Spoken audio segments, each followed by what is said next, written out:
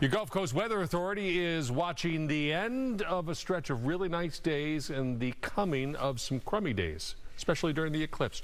yeah, it's not great timing, right? Yeah. As far as this eclipse viewing is concerned. Uh, it's not real good timing to plan an eclipse uh, in the middle of April, by the way, just for the record. But we just kind of have to go with how things go. And you hear us talk about Fox Local quite a bit, but when it comes to our eclipse coverage, this is really going to be what you need to really follow this all along. Now, I know the forecast is not great, but we're going to continue to show where everybody is going to be seeing as it moves through that path of totality all across our nation. So get that free download. Again, this is for your smart TV. You download it. There's no subscription. You make sure you're watching the Fox 26 part of it, and then we'll have that coverage all day long. And here's kind of one of our computer models that we're looking at for Monday afternoon. And you can see not just are we looking at clouds, but we're looking at rain as a possibility. And that includes for us over here in Houston. And that does also include over in the hill country and the central portions of the state where we see this uh, path of totality that we're expecting. And as we kind of roll through the clock on where that shadow will be happening,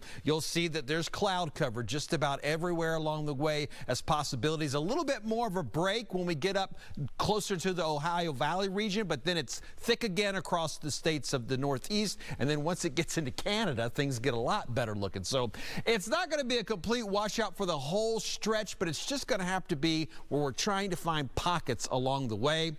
Back here in Houston, the peak of what we will see happens at 1:40 p.m.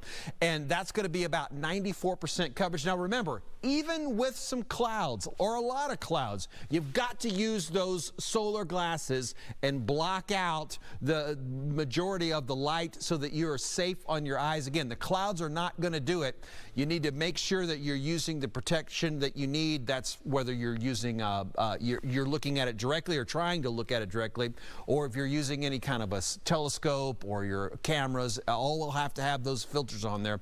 Even with the cloud cover that's around, uh, you'll need that here in the Houston area. So make sure you're using the proper protection when you're trying to view that. And again, trying to view it on Monday. It's going to be tough as we start that at around uh, a little after 12, and that's certainly when our coverage on Fox Local is going to begin.